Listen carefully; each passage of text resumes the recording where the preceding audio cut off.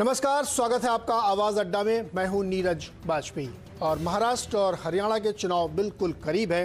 कल शाम को प्रचार बंद हो जाएगा। तो बनता है कि इस विषय पे बातचीत की जाए, और इसीलिए आज हमने खास तौर पे इस विषय को चुना है। महाराष्ट्र पे खास तौर पे बात करें, क्योंकि ये स्टेट ज़्यादा बड़ा है, ज़्यादा हलचल है, और यहाँ पे ज़्यादा राव रौनक देखने को मिल रही है। महाराष्ट्र अब वोट करने के लिए पूरी तरीके से तैयार है। और हवा का रुख भी कुछ कुछ इशारा कर रही है कि क्या हो सकता है। नेताओं के लिए चुनाव सिर्फ़ एक सरकार बनाने या हटाने का खेल हो सकता है, लेकिन आम लोगों के लिए या हमारे आपके लिए चुनाव लोकतंत्र की सबसे बड़ी आवाज़ है, जहाँ हम अपनी इच्छाओं को उनके सामने रखते हैं, अपनी ज़रूरतों को उनके सामने रखते हैं। इसलिए ज़रूरी है कि अब तक के प्रचार अभियान और वोटिंग को इस नज़रिए से भी टटोला जाए कि इसमें जनता की आवाज़ कितने दमदार तरीके से सामने आ रही है। किस तरीके के मुद्दे दिमाग में छाए हुए हैं? कौन सी ज़रूरतों पर फोकस किया जा रहा है?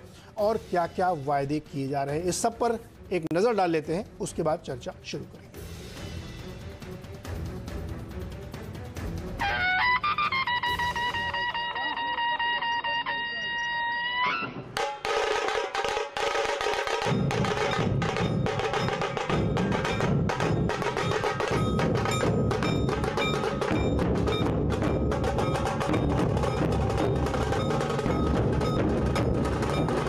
महाराष्ट्र का चुनावी दंगल अंतिम दौर में आकर काफ़ी दिलचस्प हो गया है। बीजेपी, शिवसेना और कांग्रेस, एनसीपी गठबंधन के बीच टकराव बढ़ गया है। बीजेपी राष्ट्रवाद को हथियार बनाकर विपक्षी पार्टियों पर लगातार हमले कर रही है। बीजेपी ने जम्मू कश्मीर से अनुच्छेद 370 हटाने को बड़ा मुद्दा बना लिया है। गृह मंत्री और बीजेपी के अध्यक्ष अमित शाह 370 पर कांग्रेस, एनसीपी से सवाल पूछ रहे हैं। नरेंद्र मोदी जी ने धारा 370 हटाई है।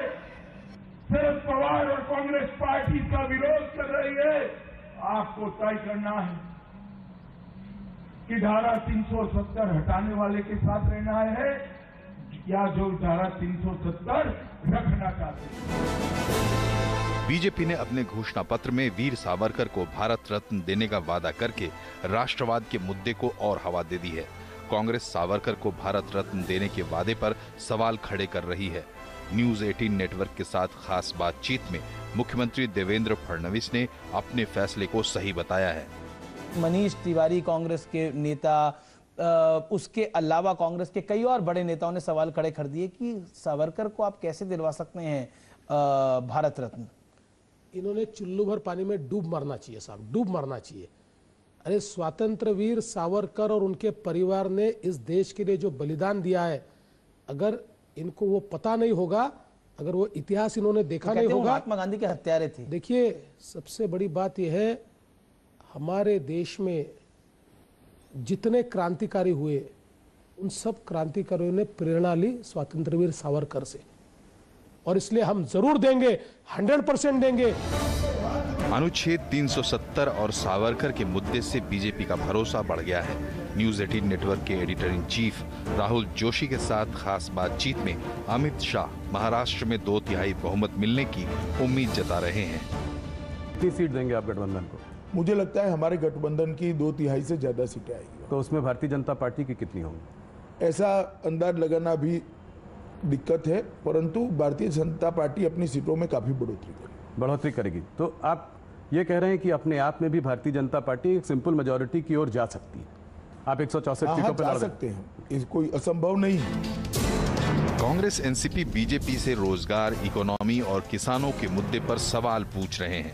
कांग्रेस का कहना है कि बीजेपी लोगों का ध्यान भटकाने के लिए 370 और सावरकर को मुद्दा बना रही है। एआईएमआईएम के अध्यक्ष असदुद्दीन ओवैसी भी सावरकर को लेकर बीजेपी की आलोचना कर रहे हैं। यहाँ के मुख्यमंत्री और सरकार लोगों से जुड़े किसी विषय पे चर्चा करने को तैयार नहीं है।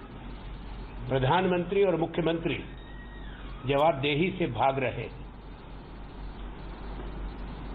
वो केवल भ्रामक प्रचार, लोगों की भावनाओं से खिलवाड़ करना, विपक्ष को निशाना कर लगाना, बदनाम करना जिससे मतदाता उनसे पिछले तीन, पाँच साल का कोई जवाब ना मांगे। अगर भारत रत्न देना है तो आप सुखदेव को दीजिए अशफाकुल्ला को दीजिए, भगत सिंह को दीजिए, अल्लामा फजल खैराबादी को दीजिए, जो माल्टा की जेलों में सोहबतें और तकालीफ बर्दाश्त की, उनको दीजिए। ये रिकॉर्ड है। अब बीजेपी अगर हर चीज़ को अगर अपनी आइडियोलॉजी पर देखना चाहती है तो फिर देश का क्या होगा? 21 अक्टूबर को महाराष्ट्र में वोटिंग है। सवाल यह है कि क्या महाराष्ट्र के चुनाव में बीजेपी को 370 और सावरकर के मुद्दे पर वोट मिलेंगे? चुनाव में राष्ट्रीय मुद्दे, स्थानीय मुद्दों पर हावी हो गए हैं। क्या विपक्ष के पास राष्ट्रवाद के मुद्दे की काट है? या अब भी मोदी की लहर है जिस पर सवार होकर फडणवीस की नैया फिर पार हो जाएगी? और इसी से जुड़ा हुआ हमारा आज का सवाल भी है ट्विटर पोल, जो हम आपसे रोज पूछते हैं शो में। आज का सवाल है कि महाराष्ट्र में आप किसके कामकाज पर वोट देंगे? नरेंद्र मोदी जी के या देवेंद्र फडणवीस के या दोनों के? अपना जवाब हमारे ट्विटर हैंडल पर दीजिए C N B C underscore Awaaz पे। और ज़्यादा से ज़्यादा पार्टिसिपेट करिए, क्योंकि ये आपकी तकदीर का फैसला है। और कल प्रचार बंद हो जाएगा, उसके बाद सोमवार को आप मतदान करेंगे। तो आपकी राय व्यू समझने में थोड़ी सी आसानी होगी। चलिए, परिचय कराते हैं हमारे साथ जो मेहमान जुड़े हुए हैं। भारतीय जनता पार्टी के राष्ट्रीय प्रवक्ता गोपाल कृष्ण अग्रवाल साहब हैं। शिवसेना के नेता अनंत तारे जी हैं हमारे साथ। एनसीपी के प्रवक्ता महेश चौहान जी हमारे साथ स्टूडियो में मौजूद हैं। हिंदुस्तान टाइम्स के राजनीतिक संपादक विनोद शर्मा जी हैं। वरिष्ठ पत्रकार राम कृपाल सिंह जी और अशोक वानखेड़े जी हैं। आप सबका बहुत बहुत स्वागत है इस चर्चा में। और चर्चा चूँकि अब बिल्कुल इलेक्शन करीब सामने खड़ा है, इस वजह से कर रहे हैं। तो बहुत ज़्यादा भूमिका न बनाते हुए कि बहुत सारी चीज़ें सबको पता हैं, गोपाल कृष्ण अग्रवाल जी आपसे शुरू करते हैं। मुझे ये बताइए कि महाराष्ट्र की जनता आपके लिए, यानी बीजेपी के लिए या शिवसेना, युति के लिए क्यों वोट करे?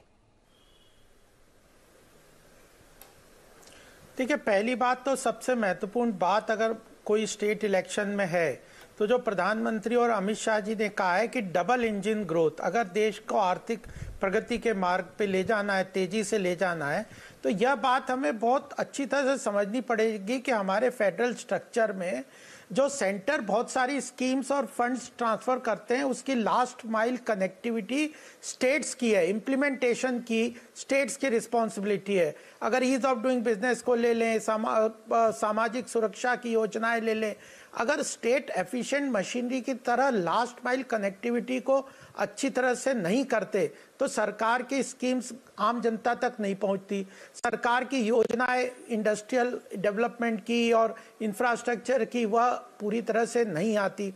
तो जो हम कई जगहों पे गैप देख रहे हैं, हम स्टेट और सेंटर के उसमें तो वह बात में प्रॉब्लम देखते हैं कि सेंटर अनाउंस करके भी स्टेट्स उनको इम्प्लीमेंट नहीं करते। या तो वो पॉलिटिकल फ्रिक्शन से, या उनमें एफिशिएंसी नहीं है, या विजन नहीं है तो यह जो डबल इंजन की ग्रोथ है, ये सबसे महत्वपूर्ण बात है। इस महाराष्ट्र जो है इंडस्ट्रियल स्टेट है, देश की अर्थव्यवस्था में उसका जीडीपी के रूप में बहुत बड़ा कंट्रीब्यूशन है वह बहुत बड़ा स्टेट है, और उसकी अर्थव्यवस्था से भारत की और प्रदेश की दोनों की महत्वपूर्ण उसमें योगदान है। तो मुझे लगता है एक ये बात है। दूसरी बात यह है कि जब सावरकर की जी की आपने बात की और शिवाजी की बात की महाराष्ट्र ने हमारे देश में बड़े बड़े महापुरुष जो राष्ट्रभक्त रूप में थे जिन्होंने मतलब पूरे राष्ट्र को एकीकृत करके स्वतंत्रता संग्राम में भी भाग लिया और जो शिवाजी महाराज का अगर इतिहास देखें तो वो किस तरह से विघटित देश था उसको एकीकृत किया। तो राष्ट्रीयता में चाहे संघ का पूरा संगठन वहाँ से निकला बहुत बड़े मूवमेंट्स थे लेकिन तो गोपाल जी जो थे सोशल जितनी भी रैली हो रही है जितनी भी रैली हो रही है बड़े नेताओं की उसमें आर्टिकल 370 तीन तलाक वीर सावरकर इस पे ज़्यादा फोकस किया जा रहा है। रादर इसके कि अपनी उपलब्धियाँ आप गिनाएँ। डबल इंजन ठीक है बहुत अच्छी बात है कि दोनों जगह एक तरह सरकार होगी तो इम्प्लीमेंटेशन असी हो लेकिन उपलब्धियाँ तो आप बताइए ना पाँच साल की। उसके बजाय वीर सावरकर पे तीन तलाक पे 370 पे ये सब राष्ट्रीय मुद्दे सामने रखे जा रहे हैं। ऐसा क्यों?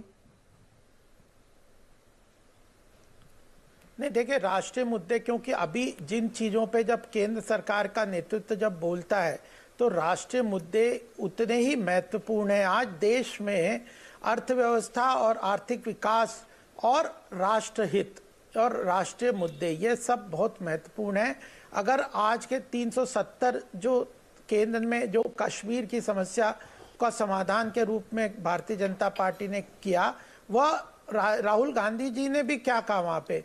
कि 70 साल में हमारी सरकारों ने कुछ किया ही नहीं। तो न केंद्र में देख लें प्रदेश में देख लें अर्थव्यवस्था आज इंफ्रास्ट्रक्चर का डेवलपमेंट आप देख लें तो महाराष्ट्र में देवेंद्र फडणवीस की पॉपुलैरिटी आज के ओपिनियन पोल्स देख लीजिए। देवेंद्र फडणवीस युवा नेतृत्व है। हमने अपना चीफ मिनिस्टर कैंडिडेट की तरह से पार्टी ने उनको घोषणा किया हुआ है। उनके ऊपर पूरी तरह से लोगों का विश्वास है। नितिन जी हैं जो दे, जो सड़कें बन रही हैं। तो वह पूरी तरह से महाराष्ट्र का उसमें योगदान है उस पर काम कर रहे हैं और उस अर्थव्यवस्था के इंटीग्रेशन में सारी चीज़ें पूरी तरह से राष्ट्रीय स्तर पे उनको इम्प्लीमेंट कर जी गोपाल जी आप तो पॉइंट ठीक कर रहे हैं। विकास की बात है लेकिन जैसे घोषणा पत्र आप लोग लाते हैं और उसमें बहुत सारे अगले पाँच वर्षों में क्या करेंगे इस तरीके के वायदे किए जाते हैं। तो एक अगर एक व्हाइट पेपर भी उस समय जारी करें कि हमने पिछले पाँच साल में क्या क्या किया है उससे पहले कहाँ से शुरू किया था तो शायद समझने में ज़्यादा आसानी होगी। हमारे साथ आपके सहयोगी सरकार में शिवसेना के प्रतिनिधि अनंत तरे जी भी पेपर हम लाते हैं ना जो बात करते हैं ना नीरज जी जी। नहीं, तो वो करते हैं तो वो लोग कहते हैं कि आप इतिहास के पीछे क्यों जा रहे हैं? नहीं नहीं पाँच साल का अरे चुनाव के समय तो हिसाब किताब दिया ही जाता है। बातें कर पाँच साल का हिसाब किताब जो आप ने अभी रिसेंट में किया वो तो वो इतिहास नहीं है वो तो उसकी ग्राउंड पे तो हम आगे की परिकल्पना करते क्या हो सकता है। अनंत तरे जी आपको वोट कोई क्यों दे? शिवसेना को वोट क्यों दे हम?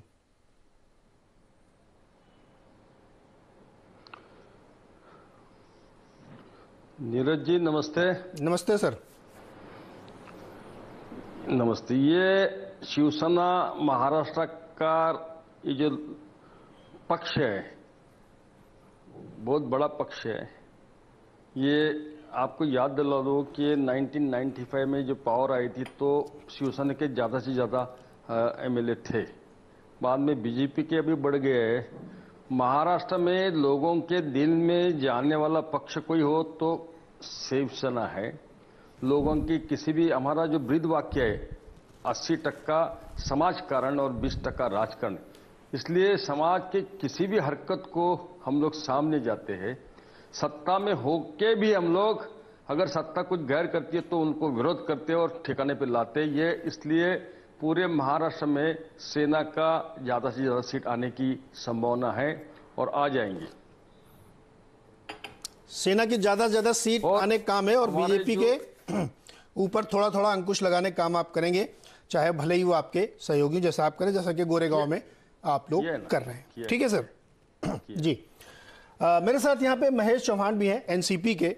महेश जी आप लोग भी जनता के बीच में जा रहे हैं तो हमें आपसे भी जानना है कि आपको वोट क्यों दें? जब इतनी एक सफल सरकार बता रहे हैं गोपाल जी की है, बहुत सारे काम किए हैं, बहुत सारे और काम करेंगे, महाराष्ट्र की जनता की आकांक्षाओं को पूरा कर रहे हैं तो एनसीपी किन इश्यूज़ को लेकर जनता के बीच में जा रही है? देखिए, अगर इनका कहना है कि इन्होंने बहुत सारा काम किया है और अभी लोग इनकी सरकार वापस लाना चाहते हैं तो हमें कुछ सवाल है और जो सवाल लेके हम जनता में जा रहे हैं, वो सबसे पहले शुरू होते हैं किसानों की तरफ़ से। आप देखिए, किसानों की आत्महत्या कितनी हो रही है। गए गए पाँच साल में सोलह हज़ार से ज़्यादा किसानों ने आत्महत्या की है। इन्होंने किसानों को जो प्रॉमिस किया था इनके घोषणा पत्र में 2014 के चुनाव के, वो घोषणा पत्र के हिसाब से डेढ़ गुना ज़्यादा एमएसपी वो देने वाले थे, वो दी नहीं उन्होंने। उन्होंने उनका उत्पन्न, उनकी आय, किसानों की आय दुगना करने की बात कही थी, वो तो हुई नहीं है अभी तक। आप रूरल इकोनॉमी देखिए कहा गई है, अपनी कंट्री की इकोनॉमी देखिए, कहा गई है, पाँच प्रतिशत पे विकास दर आके रुका है, और नीचे जाने की संभावना है। आप देखिए रोजगारी के बारे में, अगर रोज़गार के बारे में हम बात करें, बेरोजगारी का दर 45 सालों में सबसे हाई हुआ है। कितने सारे रोज़गार जा रहे हैं? आप ऑटोमोबाइल इंडस्ट्री देखिए, आप रियल इस्टेट इंडस्ट्री देखिए ऑटोमोबाइल में लाखों लोगों के रोज़गार जा रहे हैं। ये इन्होंने जो नोटबंदी किया डिमोनेटाइजेशन किया, वो गलत डिसीज़न था। उसकी वजह से बहुत सारे छोटे मोटे उद्योग बंद हुए हैं। अकेले महाराष्ट्र की बात करें तो मैंने सुना है एक लाख बत्तीस हज़ार से ज़्यादा छोटे मोटे उद्योग बंद हुए कितने सारे रोज़गार जा रहे हैं? अभी आप लॉ एंड ऑर्डर की भी बात करें तो महिलाओं के जो अत्याचार हो रहे मतलब कोई भी कोई भी आप युवाओं को ले लीजिए, युवा रोज़गार की वजह से को खुश नहीं है। ये दो करोड़ रोज़गार सालाना निर्माण करने वाले थे इंडिया में। वो नहीं हुए इनसे। इनफैक्ट जो है वो लोगों के रोज़गार जा रहे हैं। बहुत सारे प्रॉब्लम्स है। ये सारे प्रॉब्लम्स को ये लोग कैसे फेस करेंगे? अभी आप महाराष्ट्र स्टेट की बात करें तो महाराष्ट्र स्टेट का कर्जा 2014 में दो लाख सतहत्तर हज़ार के आसपास था। वो आज पाँच लाख दो लाख सतहत्तर हज़ार करोड़ करोड़ के आसपास था। वो आज पाँच लाख करोड़ के ऊपर गया है। महेश तो एक सवाल, आपके पॉइंट ठीक है, लेकिन एक सवाल ये बनता है कि ठीक चुनाव के समय जब आपके एक बड़े नेता के ऊपर बहुत सारे गंभीर आरोप लगते हैं, प्रफुल्ल पटेल की बात मैं कर रहा हूँ तो वैसे में एक नैरेटिव बदल जाता है। तब आपके सवाल कोई सुनता है क्या? आपको लोगों को एक थोड़ा बना दिया गया एक परस्पेक्टिव कि देखिए साहब, इस तरीके के एनसीपी के नेता हैं। देखिए, ये आरोप लगा है, ये अभी तक कन्विक्ट नहीं हुए हमारे नेता उनको ईडी ने जो उन्हें बुलाया था, आज ईडी के दफ्तर में गए थे, वो जो भी क्वेश्चंस पूछेंगे, जो भी प्रोप करेंगे, जो भी इंक्वायरी होगी, उसको वो फेस करेंगे। जब वो कन्विक्ट हो जाएँगे, हमारी जुडिशियरी के ऊपर हमारा पूरा भरोसा है। अगर वो उन्होंने कुछ गलत किया है और वो कन्विक्ट हो जाते तो ये कहना सही होगा। लेकिन ये जो आरोप है, वो गलत है। मैं पहली बात ये बताता हूँ, प्रफुल्ल पटेल साहब ने दो तीन दिन पहले एक प्रेस कॉन्फ्रेंस लेके उन्होंने उनकी सफ़ाई दी थी। उन्होंने उनकी सफ़ाई में कहा था कि ये जो प्लॉट है, ये जो नाम लिया जा रहा है, उसमें कोई भी फाइनेंशियल ट्रांजेक्शन हुआ नहीं था। और ईडी ने मनी लॉन्ड्रिंग या फाइनेंशियल ट्रांजेक्शन के लिए इंक्वायरी करने के लिए उन्हें बुलाया है। ये जो बिल्डिंग थी, एक रीडेवलपमेंट का काम था और रीडेवलपमेंट पे काम पे उसके पहले रीडेवलपमेंट में इनके कंपनी ने हाथ लगाने से पहले वहाँ कोई एक ऑक्यूपेंट था। वो ऑक्यूपेंट को कोर्ट में जाने के बाद कोर्ट के ऑर्डर के हिसाब से उन्हें वो जगह देनी पड़ी थी और उनके साथ जो उन्होंने वो जगह हाजरा मेमन जी को दी थी और हाजरा मेमन जी के साथ प्रफुल्ल पटेल साहब के जो फैमिली उन कंपनी है वो कंपनी के तरफ़ से उन्होंने सिर्फ़ इस पर एग्रीमेंट किया था कि जो कोर्ट के रिसीवर के उस रिसीवर से बताने जाने के लिए उसके बताए जाने पर उनके कंसेंट से उनके कंसेंट कंसेंट टर्म्स के अप्रूवल के बाद उन्होंने वो सिर्फ़ उनको अकोमोडेशन उनको मतलब हाँ अकोमोडेशन उनको दे दिया जाए। जी मैं वो वो प्रेस कॉन्फ्रेंस हम लोगों ने भी सुनी थी उसमें एक तरफा थी वो अपनी बात रख रहे थे जवाब नहीं दे रहे थे लेकिन चलिए खैर आगे बढ़ाते हैं इसको। विनोद शर्मा जी आपके पास आता हूँ मैं। देखिए, बहुत सारे मुद्दे अभी लोगों ने बताया कि किन किन विषयों पे बातचीत हो रही है, लेकिन जिस तरीके का माहौल बन रहा है, जिस तरीके का नैरेटिव बन रहा है, विपक्ष अपनी बात ठीक से रख पा रहा है। आपको ऐसा लग रहा है? देखिए, माहौल तो हम आप, हम और आप बना रहे हैं। और हम कितना बना रहे हैं और कितना निष्पक्ष होकर बना रहे हैं, उस पर एक अलग से चर्चा हम लोग कर सकते हैं। लेकिन ये बात सच है आज के दिन कि ये जो इलेक्शंस हैं हरियाणा में और महाराष्ट्र में ये उस सस्पेंस फ़िल्म की तरह है जिसका क्लाइमैक्स हमको पता है। आ, सवाल सिर्फ़ ये है कि कितने बड़े मार्जिन से भारतीय जनता पार्टी जीतेगी? और जो विपक्ष है वो कितने बड़े कितने मार्जिन से अपनी इज़्ज़त बचाएगा? तो मैं समझता हूँ आज के दिन जो विपक्ष की लड़ाई है वो एक इज्जतदार हार के लिए लड़ाई है। ये मेरा व्यक्तिगत आंकलन है, हो सकता मैं गलत हूँ, अपेक्षा करता हूँ कि मैं गलत हूँ, क्योंकि मैं चाहता हूँ कि इस देश में विपक्ष पन पे। लेकिन रही बात अब बीजेपी के कैंपेन की। मेरे मित्र गोपाल अग्रवाल साहब ने कहा, ये चार्ट अकाउंटेंट हैं, और इन्होंने कहा कि अगर हम वाइट पेपर निकालते तो आप कहते कि इतिहास बता रहे हैं। अरे भाई, इतिहास तो आप बता ही रहे हैं। आप वहाँ शिवाजी चला रहे हैं सतारा में। पूरे प्रदेश में आप सावरकर चला रहे हैं। रिलीज़ कर दिया है ना आप अहमदनगर में अहिल्याबाई होलकर चला रहे हैं। आप अहमदनगर में अहिल्याबाई होलकर चला रहे हैं। मेरे को बात करने दीजिए। गोपाल जी मेरे को बात करने दीजिए। आप जवाब दे देना बाद में। तो इसलिए और अब आप तीन सौ सत्तर चला रहे हैं। और जो लोकल मुद्दे हैं उन पे लोग बात कर रहे हैं उन मुद्दों के बारे में। लेकिन जो विपक्ष है जिसकी आ, मैं समझता हूँ टीम पूरी आप ले गए वो आज के दिन मुझे लग रहा है कि महाराष्ट्र में ये लड़ाई है कि it is Maharashtra eleven versus महारा western Maharashtra eleven you know क्योंकि बहुत से लोग वेस्टर्न महाराष्ट्र में जो एनसीपी के समर्थक थे वो छोड़ के चले गए। रामचंद्र रामचंद्र राधा कृष्ण विखे पाटिल चले गए बीजेपी उनको ले गई। नारायण राय ने। अब देखिए करप्शन से लड़ाई है। He is the first citizen of controversies in Maharashtra तो नारायण राणे जो है वो आज के दिन भारतीय जनता पार्टी के हैं। है, और उसमें शिवसेना को भी हजम नहीं हो रहा कि ये कैसे आ गए और उद्धव ठाकरे ने जाके उनके खिलाफ कैंपेन किया। तो मैं समझता हूँ भारतीय जनता पार्टी की जो जो आ, ये क्लेम है कि भारतीय जनता पार्टी बहुत ही चमकती हुई पाक साफ़ पार्टी है। वो कंट्रोवर्शियल है क्वेश्चनेबल है कि उन्होंने हर उन लोगों को अपने साथ लिया जो इलेक्शन जीत सकते हैं, भले ही उनके दामन साफ़ हो या उनमें दाग हो। तो ये सवाल बड़े स्तर पे मीडिया में उठते नहीं हैं और आज के दिन जो विपक्ष की क्रेडिबिलिटी है, कितने लोग छोड़ के विपक्ष को चले गए, वो मैं समझता हूँ बहुत गिरी हुई क्रेडिबिलिटी है। तो सवाल यह है परसेप्शन का पॉपुलर परसेप्शन का। और पॉपुलर परसेप्शन में यह है कि एक एक घोड़े की रेस है ये। उस घोड़े का नाम है बीजेपी और उनके साथ शिवसेना भी है महाराष्ट्र में और हरियाणा में बीजेपी वैसे अकेले है। विनोद तो जी। ये अनइक्वल फाइट है जी आज के दिन। विनोद जी आपकी बात से ही मैं सवाल ये पूछ रहा हूँ कि ये जो क्रेडिबिलिटी का इशू खड़ा हो गया है और लोग सुन नहीं रहे हैं आप मतलब आपके, हम सभी लोग जान रहे कितने लोग, करीब अड़तीस नेता तो मुझे याद है जो छोड़ छोड़ के जा चुके हैं। तो विद इन पार्टी और पब्लिक के बीच में ही ये क्रेडिबिलिटी का इशू क्यों खड़ा हुआ? इसके पीछे लिगेसी होगी ना कि क्यों आपकी बात लोग नहीं सुन रहे हैं और वो दूसरी तरफ़ जा रहे हैं? पार्टी के नेता भी और आम आदमी भी। तो कहीं ना कहीं कुछ तो इधर काम हुआ है या इधर के विचार से लोग ज़्यादा कन्विंस हैं या उनको अपने टच एंड फील में ज़्यादा महसूस हो रहा है कि यहाँ पे ज़्यादा बेटर है, तभी तो लोग भी जा रहे हैं वहाँ पे।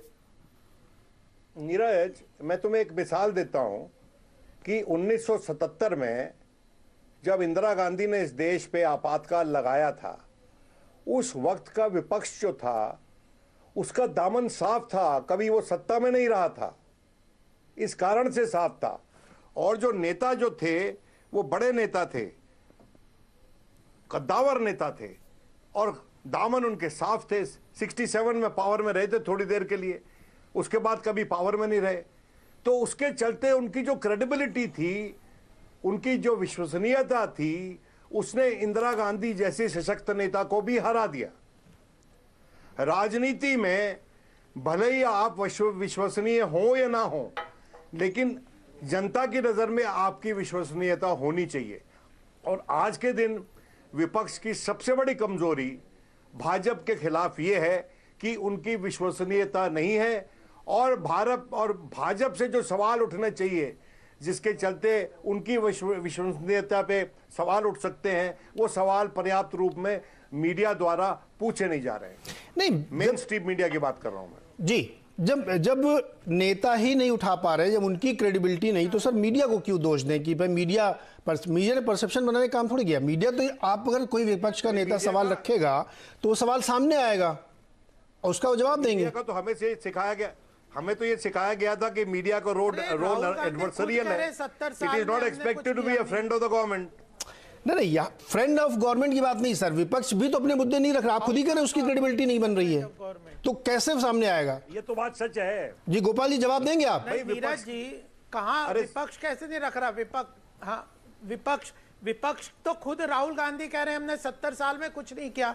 तो कंप्लीट फेलियर है। कल मनमोहन सिंह जी ने क्या बताया? अब अपने जो भ्रष्टाचार प्रफुल्ल पटेल जैसे लोग जो कि महाराष्ट्र में कांग्रेस के और एनसीपी के पिलर माने जाते थे, उनने एयर इंडिया का क्या हाल किया? आज सारों को पता है, आज एयर इंडिया साठ हज़ार करोड़ के कर्ज के साथ डूब रहा है। वह उसका कारण कौन है? प्रफुल्ल पटेल की भ्रष्टाचार है। जो पीएमसी में एचडीआईएल के साथ गलबैया करके जिन्होंने उस बैंक को लूटा है वो प्रफुल्ल पटेल है। शरद पवार आज सबसे अमीर पॉलिटिशियन है कैसे बन गए? तो शुगर शुगर स्कैम्स में उनके नाम आ रहे हैं। तो जिन लोगों ने देश को लूटा हमारी सरकार ने पाँच साल में अगर आप कहो तो उस लूट को बंद करके एक प्रगति की तरफ़ बढ़े हैं। और जो रिपोर्ट कार्ड भी हमने रिलीज़ किए पाँच अक्टूबर को पूरी रिपोर्ट कार्ड में सौ प्रोमिस में हम लोगों ने क्या पूरे किए हैं वो पूरा लिस्ट है सवा सौ में से सौ प्रोमिस जो पूरे हो गए। और आने वाले समय के लिए क्या पहली बार इतनी अकाउंटेबल तरीके से हम चल रहे हैं। अगर कांग्रेस को अपोजिशन को भारतीय जनता पार्टी की सरकार से कोई दिक्कत थी उनकी अचीवमेंट से तो उन्होंने व्हाइट पेपर लाना चाहिए था ना। उन्होंने कह, वो तो कह रहे खुद ही सत्तर साल से हमने कुछ नहीं किया। फिर वो कहते हैं कि तीन सौ सत्तर से कश्मीर का महाराष्ट्र से क्या संबंध है? तो जो हमारे आइडियोलॉजिकल इशू हैं हम राष्ट्रभक्ति को राष्ट्र को भारत की संप्रभुता को महत्वपूर्ण मानते हैं। जी। उस बात को कहते तो जी गोपाल जी एक एक छोटा जवाब मैं ले लेता हूँ। नीरज जी। ये मेरे दोस्त गोपाल जी भूल जाते हैं मैं इनको याद करवाना चाहता हूँ। अभी शरद पवार पे अटैक किया। इन्होंने तो पद्म विभूषण दिया शरद पवार को इनकी सरकार ने। पहली टर्म में दिया था कि नहीं? शरद पवार जी को पद्म विभूषण किसने दिया था? गोपाल जी आप जनता के साथ मज़ाक मत करें। तो, आप तो- क्या समझते तो- समझते हैं जनता को भूल जाएगी? हमारा काम मज़ाक याद दिलवाना तो जनता क्या को। पद्म विभूषण अगर भ्रष्टाचार? हाँ तो प, तो पद्म विभूषण जिसको मिल गया उसके भ्रष्टाचार उजागर नहीं होंगे क्या? जब अरे तो पता आपको चलेगी नहीं पता था क्या? होगी प्रक्रिया के एक हाथ से पद्म विभूषण दूसरे हाथ से पता होता तो अरे अरेस्ट मनी लॉन्ड्रिंग करते हैं। तो पद जी। अभी चिदंबरम चिदम्बरम को सब पब्लिक डोमेन में थी सोशल मीडिया में लेकिन जब शरद पवार की तो बात जेल में बैठे नहीं बैठे। अभी राहुल गांधी तो जेल में नहीं है। हाँ तो राहुल की गांधी की क्यों ना करें? उसमें उन बेल पे हैं तो कानून प्रक्रिया के तहत इन्वेस्टिगेशन के तहत ही तो पकड़े जाएँगे। अभी हम क्या आगे बढ़ाते हैं। दो और हमारे मेहमान हैं। उनको भी शामिल कर लेते हैं। उसके बाद आपके पास फिर से लौटेंगे। कई सारे और सवाल खड़े होंगे। अ, राम कृपाल जी बड़े मुद्दे और राष्ट्रीय मुद्दे जो उठाए गए हैं जो उस चुनाव में उठ रहे हैं उसके सामने छोटे मुद्दे गौड़ हो गए हैं और एक तरीके से हवा और लहर बन चुकी है और पब्लिक उससे कन्विंस भी दिख रही है। ये एक तरीका है जो पिछले कुछ समय में बना है और उसको पार्टी फ़ायदा भी उठा रही है भाजपा शिवसेना। दोनों का बड़ा मिक्स है, लेकिन ज़्यादातर बड़े मुद्दे उठाए जा रहे हैं। हालाँकि ये बात यहाँ पे मैं एक क्वालिफायर के तौर पे दे दूँ कि जो काम है 370 वाला, वो बहुत बड़ा काम है। तो इसलिए वो मुद्दा उठाना जायज़ भी लगता है, क्योंकि इससे पहले तो किताबों में और स्कूलों में ये पढ़ाया गया था कि वो हट ही नहीं सकता। अब वो हट गया एक झटके में तो उसका क्रेडिट क्यों ना लिया जाए? और दूसरी बात यह है कि जो और दूसरे यहाँ मराठी मानुष की अस्मिता से जुड़े हुए सवाल हैं, वो उठेंगे ही। तो मेरा सवाल ये कि क्या राष्ट्रीय मुद्दों के सामने ये जो लोकल इश्यूज़ हैं, ये दब गए हैं और पब्लिक भी इससे कन्विंस लग रही है? नीरज जी, एक बात से मैं हमेशा कन्विंस नहीं होता हूँ। कोई भी मुद्दा, राष्ट्रीय मुद्दा भी सवाल इस बात का है कि राष्ट्र जो फैसला करता है, वो ऐसा तो है नहीं को दादर नगर, हवेली या जो केंद्र शासित राज्य हैं, उनके लिए करता हो। जो भी केंद्र के फैसले होते हैं, वो हिंदुस्तान की इन्हीं राज्यों की जनता के हित में होंगे या उनके अहित में होंगे? तो ये कहना कि ये स्थानीय मुद्दा है और ये राष्ट्रीय मुद्दा है, जैसे लग रहा है कि दोनों में, मैं इसको नहीं मानता हूँ। और देखिए, अभी एग्जैक्टली तेईस मई से 21 अक्टूबर अगर 24 भी जोड़ लें तो पाँच महीने होता है। आप ये बताइए कि किसी भी इलेक्शन में कोई भी पार्टी जाएगी। अभी अभी पाँच महीने पहले इस देश की जनता ने एक फैसला दिया है। सवाल है उस पार्टी को अभी पाँच महीनों में अगर उसने उस पर कुछ ऐड किया है, कुछ अच्छा काम किया है पार्टी के हिसाब से, या देश के, जब पार्टी तो मानी गई, उसने एक अच्छा काम किया है। तो ये इस चीज़ को कोई भी पार्टी उसके क्रेडिबिलिटी लेगी ही लेगी। ये ये कहना कि आप इस पर क्यों चल रहे हैं, उस पर क्यों चल रहे हैं? हमेशा देखिए, इंदिरा, कभी भी कोई भी पार्टी होती है, एक पॉलिटिकल नैरेटिव हमेशा वो नया खड़ा करती है किसी भी चुनौती के लिए और बीजेपी ये करते ही रही है। मैं एक सवाल पूछता, जैसा आप कह रहे थे कि कोई क्यों वोट दे, मैं एक उल्टी बात कहता हूँ। जो ये बात आप कह रहे हैं, लोकल, देखिए, कोई भी राज्य सरकार अगर आप देखें ज़मीनी सच्चाई ये होती है कि वो इलेक्शन से पाँच महीने पहले से उसकी उपलब्धियों के एक एक चीज़ हर विभाग अपना सब चाहे वो कृषि विभाग हो बिजली विभाग हो फलाना विभाग हो फुल पेज के विज्ञापन और एक एक रूरल इंडिया से लेकर के गाँव से लेकर के शहर तक वो पूरा प्रचार करती रहती है। तो उसे ये बताने की ज़रूरत फिर से नहीं है वो तो वो तो ऑलरेडी चार महीने से कर रही होगी वो सरकार। सवाल इस बात का है कि जो लोग जो बिखरा हुआ जिसके विनोद जी ने बात की विपक्ष है सवाल अगर मैं उससे सवाल करूँ कि आप सिवाय एक बीजेपी की बुराई अगर आपको यह लगता है कि बीजेपी की असफलता उसकी वीकनेस उसकी कमज़ोरी ही आपकी ताकत है तो माफ़ कीजिएगा आप और कमज़ोर होते जाएँगे। अभी अभी मैंने देखा एनसीपी के जो, जो जो थे मैं बहुत ध्यान से सुन रहा था। उन्होंने एक बार भी अपनी पूरी बातचीत में यह नहीं बताया कि इन रोगों का क्या निदान है। अगर कोई मरीज़ आपके पास जा रहा है, एक डॉक्टर हैं आप आप उसका पूरा बता दें डायग्नोसिस करके कि तुम्हें ये खराब है, किडनी खराब है, लीवर खराब है, फलाना चीज़ खराब है, चुप हो जाए। वो कहेगा, साहब, हमको हमको प्रॉब्लम है, इसीलिए तो मैं आपके सामने खड़ा हूँ। आप इलाज क्या दे रहे हैं? विकल्प क्या है? वे देखिए, आज की तारीख में चाहे कारपोरेट हो, चाहे पॉलिटिक्स हो वही लीडरशिप कामयाब होगी जो प्रॉब्लम्स के साथ साथ सॉल्यूशंस की बात करें। हमेशा प्रायोरिटी पर सॉल्यूशंस होने चाहिए आपको। हाँ ये है।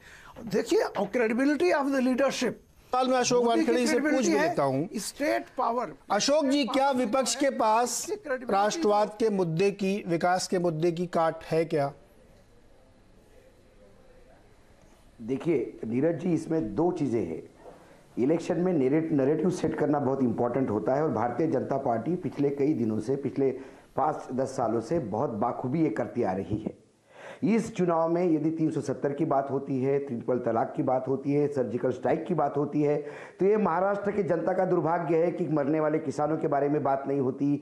जो कर्ज माफ़ी की बात हुई थी उसमें 16 पॉइंट्स ऐसे कंडीशंस रखे हैं कि 20 प्रतिशत किसानों को भी कर्ज माफ़ी नहीं मिली। बाकायदा प्रेस रिलीज़ बाकायदा बड़े बड़े विज्ञापन छपे थे कि हमने एमएसपी पे माल खरीदा है।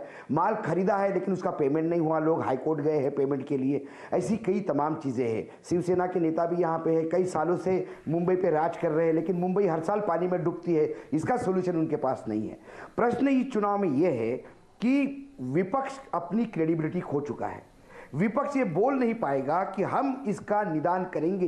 ये जो समस्याएँ हैं महाराष्ट्र की, इसका हम सोल्यूशन देंगे, क्योंकि इन समस्याओं की नींव इन्हीं लोगों ने रखी थी जो अब विपक्ष में है। रही पक्ष की बात। पक्ष भी इन चीज़ों को ज़्यादा बात नहीं करता, क्योंकि यदि आप कहोगे कि कांग्रेस की वजह से आत्महत्या हुई तो कांग्रेसी कई इन्हीं के साथ खड़े होते हैं। चार महीने पहले सातारा में जिस महाराज के लिए छत्रपति के खिलाफ वोट मांग रहे थे नरेंद्र मोदी जी, आज उन्हीं के फेवर में वोट मांगने पहुँचे हैं। तो ये इतना कंफ्यूजन सीनेरियो है। और दूसरी बात बार बार हम ये कहते हैं कि एक लोगों को क्रेडिबिलिटी होनी चाहिए। क्रेडिबिलिटी कैसी होगी? क्योंकि कोई पिछले पाँच साल में कौन सा ऐसा विपक्ष है महाराष्ट्र में जो लड़ता रहा? पूरा विपक्ष का रोल शिवसेना ने निभाया महाराष्ट्र में। शिवसेना विपक्ष से ज़्यादा अच्छा काम कर रही थी, सरकार को लगातार टोक रही थी। और शिवसेना ने यह तय कर लिया था लेकिन शिवसेना विपक्ष में भी इसलिए थी क्योंकि पावर में शेयर नहीं मिल रहा था। बड़े भाई का रोल अदा करने को नहीं मिल। अशोक जी आप आप सभी लोग एक बात बार बार ये कह रहे हैं कि हाँ। विपक्ष जो है बहुत क्रेडिबल नहीं है क्रेडिबल नहीं है। तो मैं क्या इसको ये मान के चलूँ कि विपक्ष थॉटलेस था उसके पास कोई आइडिया नहीं था जिसको वो खड़ा कर पाए। लोकसभा चुनाव से पहले कोशिश की गई हालाँकि वो विफल हो गया लेकिन अभी के हालात में कोई नरेटिव नहीं किसी के पास और बिल्कुल विचार शून्यता की स्थिति है। तो इस इसको अपनी कमज़ोरी देखे ना वो फिर। कांग्रेस कांग्रेस की स्थिति यह है केंद्र में नेता इंटरीम नेता प्रेसिडेंट उनके पास है। ज्योतिरादित्य सिंधिया जिसको कैंपेनिंग कमेटी का मैनेजर कैंपेनिंग कमेटी का हेड बनाया वो दो दिन पहले वहाँ आए हैं। तो ये यदि कांग्रेस का रुख रहा तो एक दिखता है कांग्रेस में कोई नेता पैसा निकालने के लिए नहीं तैयार। आज किसी बड़े स्टार प्रचारक को कोई कैंडिडेट बुलाता है तो वो बोलता है कि मेरे टिकट का और आने जाने की व्यवस्था कौन करेगा? पैसे का भी बड़ा संकट है संगठन नहीं है। और बीजेपी में जो लोग चले गए हैं जी नहीं नहीं और एनसीपी से ये तो इस तरीके की जो स्थिति बनी है अशोक जी नहीं नहीं अशोक जी देखिए बीजेपी बीजेपी ये जो स्थिति पूरी बन रही है विपक्ष की इतना अगर कमज़ोर है कि आप सत्ता से एक टर्म बाहर रहे और तो आपके विचार खत्म हो गए आपके पैसे खत्म हो गए आपकी यूनिटी खत्म हो गई आपका संगठन ध्वस्त हो गया तो इससे तो यही नतीजा निकलेगा कि साहब कोई प्रोसेस ही नहीं था आपका। आपका संगठन क्या था? सिर्फ़ इस बात के लिए था कि सत्ता बने हुए तो आपस में खींचतान बचा रहे इसलिए अनंत जी आप इशारा कर रहे हैं, अपनी बात रखिए, क्योंकि आपने भी चुनाव से पहले बहुत प्रेशर टैक्टिक्स अपनाई है। अनंत तरे जी।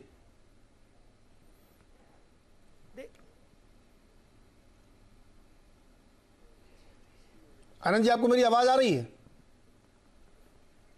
नहीं आ रही। महेश जी, आप इशारा करते आप बताएँ।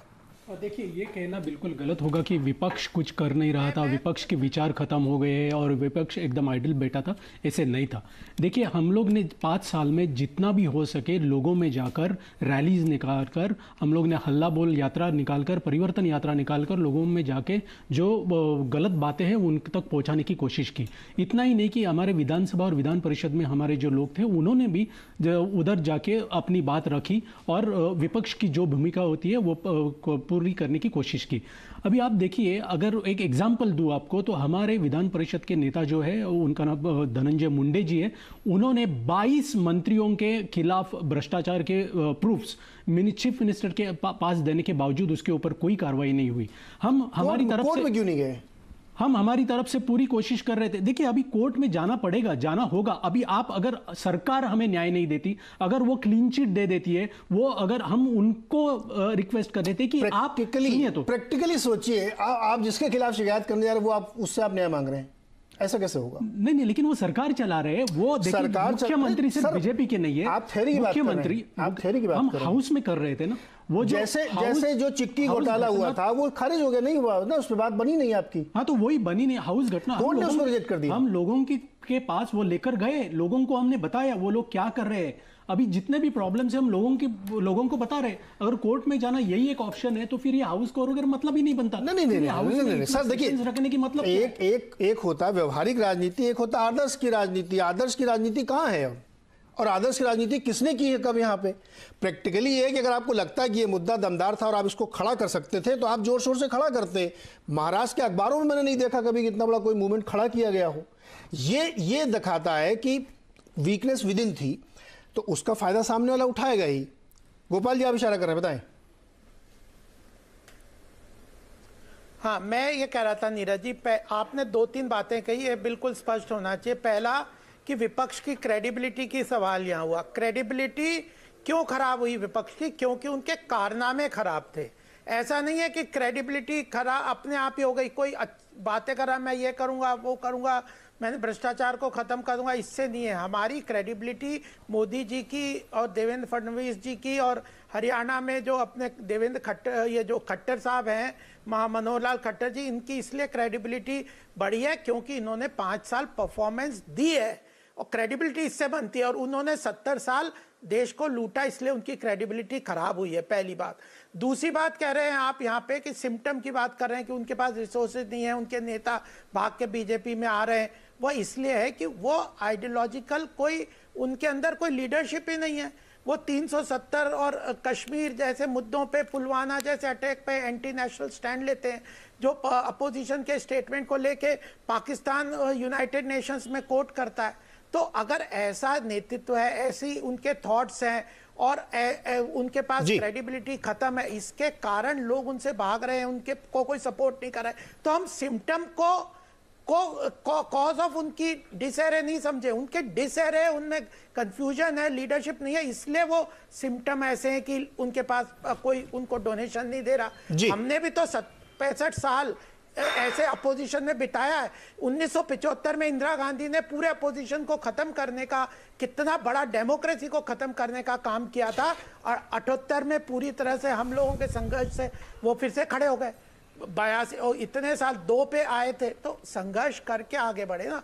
वो सत्ता के जी, गोपाल जी, भ्रष्टाचार के भोगी थे। ये पॉइंट जो है एक बार मैं विनोद जी से लूँगा। लेकिन एक बार बिल्कुल एक बार उससे पहले मतदारों की राय सुन लूँ मैं मतदान करता जो सोमवार को बाहर निकलेंगे। तो हमने उनसे भी बातचीत करी कि आप लोग किस आधार पे वोट देंगे, कामकाज पे वोट देंगे, किसके कामकाज पे वोट देंगे, फडणवीस जी के या मोदी जी के? तो एक बार वो राय सुन लेते हैं, उसके बाद विनोद जी के पास आएँगे और फिर अनंत तरे जी के पास भी आएँगे। सुनाइए। तो I find it lots of differences तो मैं तो मेनली मोदी के काम को देख रहा हूँ और फडनवीस इज़ वेरी गुड उन्होंने काम अच्छे किए हैं तो मोदी और फडणवीस काम दोनों के काम के लिए वोट करेंगे। जहाँ तक तो बॉम्बे का प्रोग्रेस हो रहा है आई थिंक तो फडणवीस का काम ज़रा अच्छा मेरे को लग रहा है। काम देख कर ना बीजेपी को वोट नहीं मिलना चाहिए but otherwise I don't know power में आ सकते हैं कि नहीं बट काम से आई डोंट थिंक काम से मेरे हिसाब से कोई इम्प्रेस नहीं है। तो ना बीजेपी का काम ना फड ना फडणवीस का काम ना मोदी का काम। महाराष्ट्र को देख ले तो ना शिवसेना वायबल कैंडिडेट है ना मुझे लगता है कि बीजेपी वायबल कैंडिडेट है। मुझे नहीं लगता कि मैं हिंदुइज्म के बेसिस पे वोट देने वाला हूँ। गवर्नमेंट एक्चुअली कुछ इंप्रेसिव काम नहीं कर रही है which is why even I am of the opinion कि मुझे नहीं लगता ना मैं बीजेपी को ना फेडनांडिस को वोट करूँगी। चलिए ये लोगों की रमेश जी एक पास आता हूँ विनोद जी को शामिल कर लूँ और रामकृपाल जी को। विनोद जी जो चर्चा हम लोग अभी कर रहे हैं, इसमें जनता की राय सब मिल रही है, लेकिन एक बात जो बड़ी महत्वपूर्ण निकली, जो आप भी कह रहे थे कि क्रेडिबिलिटी है, मेरा सवाल ये है कि इतनी ज़्यादा विचार शून्यता हो चुकी है क्या? आप बहुत करीब से देखते हैं खास तौर पे कांग्रेस को और दूसरे विपक्षी पार्टियों को, कि वो न तो कोई विषय खड़ा कर पा रहे हैं, न सरकार के खिलाफ कोई मुहिम खड़ा कर पा रहे हैं। इसलिए लगता है कि विचारधारा पे बहुत कमज़ोर हो गए हैं। दूसरा, वो रिएक्शनरी हो गए हैं। और रिएक्शन करते करते करते करते वो ऐसे इश्यूज़ पर रिएक्शन करने लगे कि कई बार मेरे मन में भी सवाल आता है, ये इस पर क्यों रिएक्ट कर रहे हैं आप? अब जैसे एक उदाहरण के तौर पर बताऊँ, स्वच्छता अभियान का विरोध करने वाला क्यों करेगा मुझे ये आज तक समझ में नहीं आया। वैसे ही अगर बहुत सारे इश्यूज़ पे आप विरोध कर रहे हैं तो आप उस ट्रैप में फंस रहे हैं जो एक्चुअली नहीं करना चाहिए आपको। विनोद जी। देखिए, ऐसा है कि ये एक सवाल मैंने राधा कृष्णन विखे पाटिल को पूछा था। मैंने कहा, आप लीडर ऑफ़ ऑपोजिशन थे भाई। और देखिए, त्रासदी देखिए कि leader of opposition former leader of opposition is opposing the opposition in Maharashtra leading the BJP charge मैंने उनसे पूछा, भैया, आप कांग्रेस में रहे हैं। राष्ट्रवाद की क्या एक ही परिभाषा है? बीजेपी की जो राष्ट्रवाद की परिभाषा है क्या उसको दूसरे परिपेक्ष में कोई पॉलिटिकल पार्टी नहीं देख सकती क्या? जो 370 पर आज के दिन डिबेट चल रही है उसमें सबसे पुख्ता बयान कांग्रेस वर्किंग कमेटी का है। और उस पर अगर आप चाहें एक प्रोग्राम करवा लीजिए हम उस पर बहस करेंगे। जी। उसमें क्या है? उन्होंने कहा कि भाई जो मीन्स आपने अडॉप्ट किए हैं टुवर्ड्स द एंड एंड पे डिस्प्यूट नहीं है। मीन्स पे है कि जिस तरह से आपने किया है। चलिए आप इसको हम अलग छोड़ देते हैं। देखिए, जिस तरह की बहस पब्लिक डिस्कोर्स हमारे देश में चल रहा है, उसमें जो नुआंसेस होते हैं, जो खूबसूरती होती है, जो बताते हैं लोगों को कि भाई ये दूसरा ऑप्शन है। अब मैं बात कर रहा हूँ, एक और मेरे दोस्त अग्रवाल साहब बैठे हुए हैं। वो एक पक्ष रख रहे हैं, मैं दूसरा पक्ष रख रहा हूँ। हम लोग बहुत एक दूसरे के साथ इज़्ज़त से बात कर रहे हैं। जैसे कि वो कहते हैं कि भाई, भ्रष्टाचार बहुत है विपक्ष में। तो मैं इनसे पूछना चाहता हूँ कि क्या मोहिते पाटिल के खिलाफ कोई आरोप नहीं था? क्या हर्षवर्धन पाटिल के खिलाफ कोई आरोप नहीं था? क्या गणेश नायक के खिलाफ कोई आरोप नहीं था? क्या विखे पाटिल परिवार के खिलाफ कोई आरोप नहीं था? तो ये मेरा पूछने का हक है। इसका मतलब ये नहीं कि मैं करप्शन के पक्ष में हूँ। मैं इनको आईना दिखा रहा हूँ कि ये काम आप दूसरे तरीके से भी कर सकते हैं। महात्मा गांधी स्वच्छता अभियान जो है, स्वच्छ भारत महात्मा गांधी का एक डायमेंशन है। महात्मा गांधी तो संपूर्ण व्यक्तित्व वाले व्यक्ति थे। उनकी और जो सीखे हैं, उनकी और जो सेइंग्स है, उसको कब तक, कहाँ तक अनुपालन कर रहे हैं अग्रवाल साहब और इनकी पार्टी? जी। महात्मा गांधी को आधे अधूरे आदमी की तरह बना के पेश करा जा रहा। है और उस पर अगर मैं एक्सेप्शन लेता हूँ तो क्या उस पर अग्रवाल साहब बोलेंगे कि भाई तुम सफ़ाई अभियान के खिलाफ हो? मैं नहीं हूँ सफ़ाई के खिलाफ, मैं स्वच्छ भारत चाहता हूँ। लेकिन मैं संयुक्त भारत भी चाहता हूँ। लेकिन मैं ऐसा भारत चाहता हूँ जिसमें समरसता हो। वो आप उतनी बात उतने प्रखर तरीके से नहीं करते। अभी कहा गया एक वरिष्ठ नेता के द्वारा कि history should be written from the perspective of BJP और फिर कहा गया कि सावरकर साहब जो थे, उन्होंने नई दिशा दी। उन्होंने जो 87 की क्रांति थी, उसको पहली वॉर ऑफ़ इंडिपेंडेंस बोला। अब सावरकर साहब 53 1853 में पैदा हुए थे और क्रांति 1857 में हुई थी तो उनकी आँखों देखी तो नहीं हुई थी। अमित शाह साहब के। नहीं सर विनोद जी। तो विनोद जी विनोद जी। बात सुनिए। देखिए बहुत सारा इतिहास जो लिखा गया है रोमिला थापर ने भी जो इतिहास लिखा उन्होंने देखा नहीं था। लिखा है उन्होंने कहीं से पढ़ा अनुशीलन किया उसके बाद लिखा। तो ये तर्क उतना अच्छा नहीं है। मुझे लगता है कि इतिहास की जो फिर से लिखने की बात चल रही है उसको शायद इस नज़रिए से देखना चाहिए कि जो नई पीढ़ी है 40-45 साल की उसको शायद 12-1300 साल से पुराना इतिहास पता ही नहीं है। उसको पता ही नहीं होगा कि कश्मीर के एक बड़े राजा हुआ करते थे जिनका राज कश्मीर सागर से उस तक जाता था। तो वो वो अलग एक इशू है उसमें नहीं जाते हैं अपन नीरज एक हिस्ट्री नहीं मुझे एक बात समझा दो is history point of view Neeraj ji. क्या वो विचार हिस्ट्री पॉइंट ऑफ़ व्यू है क्या? हिस्ट्री तो हिस्ट्री है भाई। हिस्ट्री हिस्ट्री है लेकिन हिस्ट्री से आप सबक लेते हैं। अगर इतिहास में हमें यह बताया नहीं गया कि कश्मीर में एक बहुत बड़े राजा थे जिनका नाम ललिता मुक, मुक्तबोध था और उनका राज्य कहाँ से कहाँ तक फैला हुआ था मुझे सिर्फ़ यहाँ से इतिहास पढ़ाया जा रहा है उसके आगे का तो मैं तो कहूँगा ना कि इतिहास पूरा नहीं पढ़ाया गया मुझे। पॉइंट ऑफ़ व्यू उससे नहीं बनता लेकिन इतिहास की सही जानकारी तथ्यपरक जानकारी रखनी चाहिए। तो वो एक अलग विषय है, उसका आज हम लोग चर्चा नहीं करते, लेकिन आपका सुझाव अच्छा है। हम किस दिन एक घंटे के इसमें विषय करेंगे कि क्या इतिहास में फिर से पुनरावलोकन की ज़रूरत है क्या? गोपाल जी जवाब दीजिए, बहुत गंभीर सवाल उठाए हुए शर्मा जी ने। हाँ मैं, देखिए, मैं दो बात कहना चाहता हूँ। पहली बात कि अगर 370 के ऊपर इन्होंने कही तो ये कह रहे तरीका, हम 370 के खिलाफ थे और तरीका गलत अपनाया। कल मनमोहन सिंह जी ने अपने प्रेस कॉन्फ्रेंस में बिल्कुल गलत बात कही कि, और यह स्पष्ट है कि लोकसभा में कांग्रेस ने 370 वाले रेजोल्यूशन का अपोजिशन की वोटिंग की है। फिर क्यों इन्होंने झूठ बोला? दूसरी बात, ये कह रहे हैं तरीका गलत था। रहे तरीका आप सत्तर साल में, आप कह रहे हो कि टेम्पररी मानते थे तो क्यों नहीं तरीका सही अपनाया? आप जो तरीका अपना रहे थे, वह देश को विघटित कर रहा था। आप कश्मीरी पंडित की कभी चिंता ही नहीं करते थे आपकी पूरी पॉलिसी आइडियोलॉजी देश को डिविजिव डिवाइड एंड रूल और मुस्लिम परस्ती के ऊपर चल रही थी। तो वह सेक्युलरिज्म के नाम पे आप देश के साथ पूरी तरह से गद्दारी कर रहे थे जिसके कारण लोग आपको नहीं आते और उसको हमने बदला है उस नरेशन को बदला है स्वाभिमान को बदला है और इतिहास में आप विक्रमादित्य को नहीं पढ़ाते। सावरकर को पूरी तरह से आपने कल्प्रिट बना के रख दिया। सावरकर ने कितना बड़ा देश के लिए त्याग किया? हमने गांधी को भी उठाया और सावरकर जी को भी उठाया। गांधी जी को पूरा गांधी जी का बहुत बड़ा महत्व है। इसका मतलब क्या? और स्वतंत्रता संग्राम में सावरकर को डिनाउंस करेंगे आप? सावरकर जी को आपने क्यों? भगत सिंह को करते हैं चंद्रशेखर आज़ाद को करते हैं। आपने सरदार पटेल जी को, को भी भगत सिंह को दो। स्तर दिया है। भगत सिंह को दो नेताजी सुभाष चंद्र बोस को भी दिया है। बिल्कुल हम तो यही तो कह रहे हैं। क्यों? हम तो यही कह रहे हैं कि देश के इतिहास में सुखदेव और राजगुरु को भी तो जिनके जी। कंट्रीब्यूशन और केवल और 1947 से इतिहास नहीं बनता। भारत का इतिहास कई हज़ार साल पुराना है।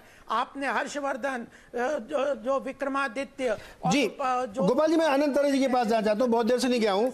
अभी तक उनसे बहुत ज़्यादा बात नहीं हो पाई शायद कनेक्शन कट गया था। अनंत तरे जी बड़े मुद्दे महाराष्ट्र चुनाव में मुंबई चुनाव में हावी है। और उसी पे मतदान हो रहा है। सही है ये? देखो, देश का विचार करे, राष्ट्र का विचार करे तो 370वां जो कलम आदरणीय मोदी जी ने जो रद्द किया, वो बहुत बड़ी बात सबके दिलों में है। कई ऐसे लोग हैं जिनको ये बात दिल से पसंद है मुँह पे, मुँह से बात नहीं करते, विरोध करते। ये तो इंटरनेशनल इश्यू जिसने पाकिस्तान ने क्या उसका दुख व्यक्त करने की ज़रूरत थी? फिर भी हमारे लोग दुख व्यक्त करते हैं। इसलिए ये मुद्दा तो चलना ही माँगता है, चलता है। मोदी जी हर भाषण में बोलते वो उनका सम्मान करना चाहिए।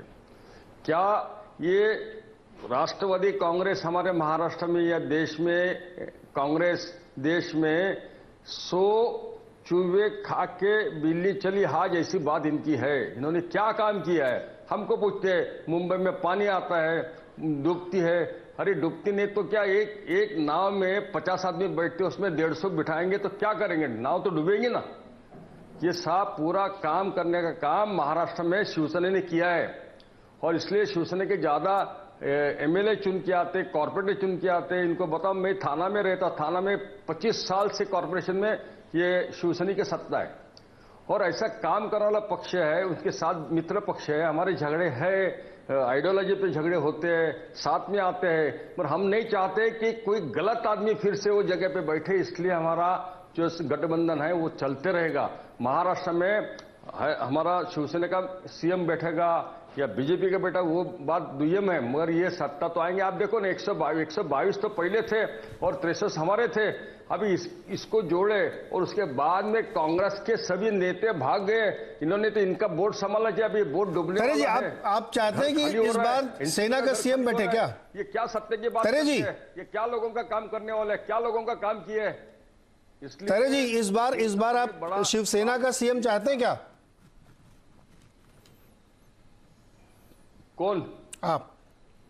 इस बार शिवसेना का सीएम बने। देखो दिए वन वन ट्वेंटी सिक्स है वन ट्वेंटी सिक्स और फोर एक सौ फोर्टी टू ये अंदर से हमारे पक्ष में आदरणीय उद्धव जी से बात हुआ है आदरणीय अमित शाह जी से बात हुआ है जी। सीएम से बात हुआ है और प्रधानमंत्री से बात है।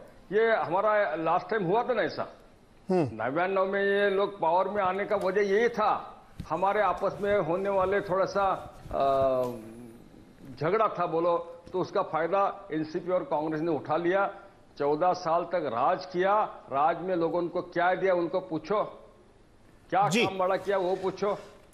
इसलिए शिवसेना को लोग पसंद करते हैं। ठीक है तरह साहब शिवसेना को लोग पसंद करते हैं और अब वो मतदान भी देखेंगे। एक बात जरा मैं बहुत देर से भागे बड़े बड़े नेता भागे। राम कृपाल सिंह जी और वानखेड़े जी के पास जाऊँगा।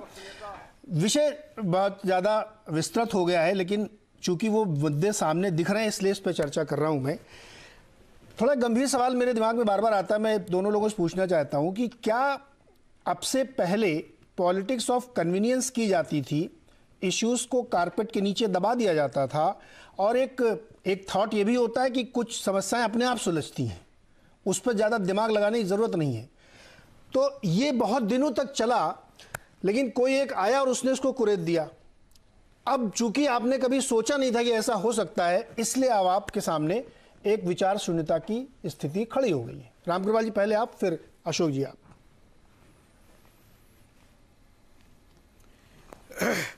नीरज जी, देखिए, मैं इसको विचार शून्यता, हो सकता है कि ऐसा कुछ हो, लेकिन मैं एक बात कहूँगा।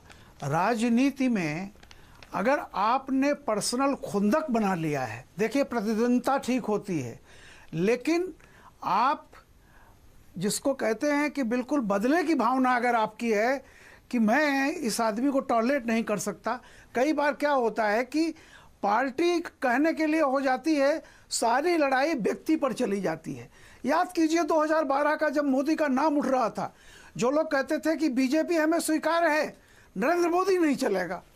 आज छः साल से आप ये देखिए, ऐसा नहीं है। मैं कांग्रेस का, मैं इंदिरा गांधी का याद कीजिए। अकेली उनको निकाल दिया था पूरी पार्टी ने, कांग्रेस संगठन ने। अकेली थी वो, सिर्फ़ कमलापत त्रिपाठी बाहर को ले जाकर के उन्होंने सभा की थी।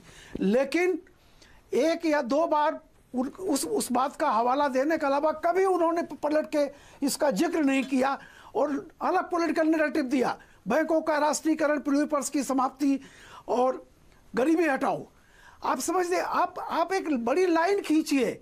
आप छह साल से पड़े हुए हैं किसी कमीज को मैं जा, और ज़्यादा गंदा कैसे कर दूँ? ऐसे में विकल्प नहीं बनता। आज की तारीख में देखिए 65 परसेंट जो आपका वोटर है उसका कॉन्ट्रडिक्शन जो है वो स्टेट या डिस्ट्रिक्ट नहीं है।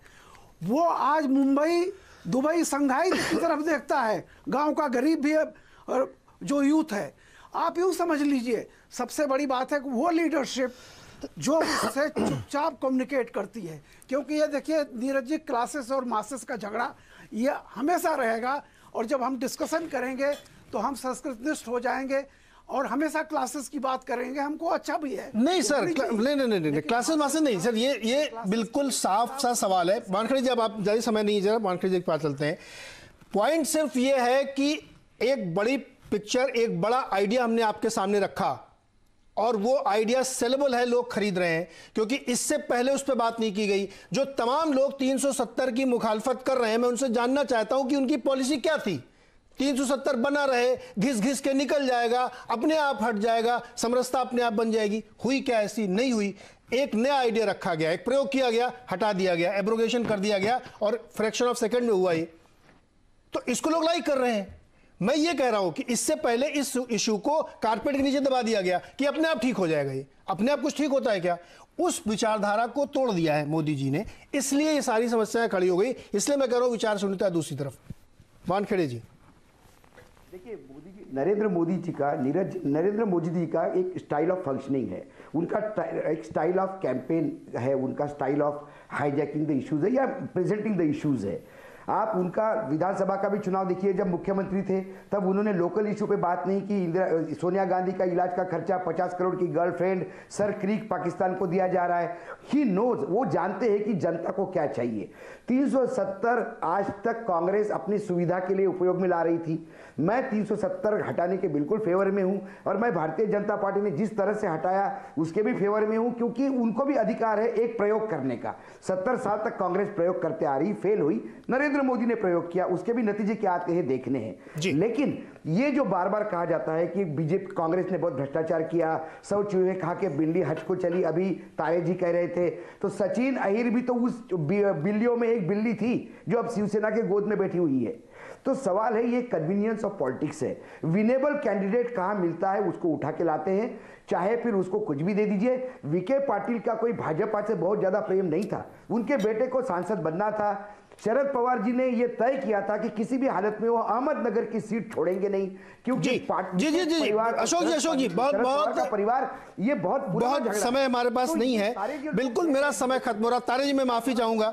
मेरे पास समय बिल्कुल नहीं है। समय शो खत्म करना मुझे। मैं फटाफट वो जवाब दिखा देता हूँ जो मैंने जनता से पूछा था कि आप किसके आधार पर वोट करेंगे किसके काम के आधार पर करेंगे। तो छब्बीस लोग मोदी जी के काम पे वोट करेंगे, सैंतीस प्रतिशत लोग फडणवीस जी के वोट कामकाज पे वोट करेंगे और दोनों के कामकाज पे सैंतीस परसेंट करेंगे।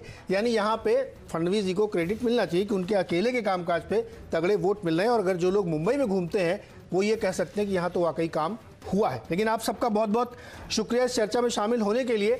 एक निवेदन दर्शकों से, आप सबसे जो मुंबई में है, महाराष्ट्र में है, हरियाणा में है, कि वोट ज़रूर करिएगा, जिसको मर्ज़ी हो उसको करिएगा।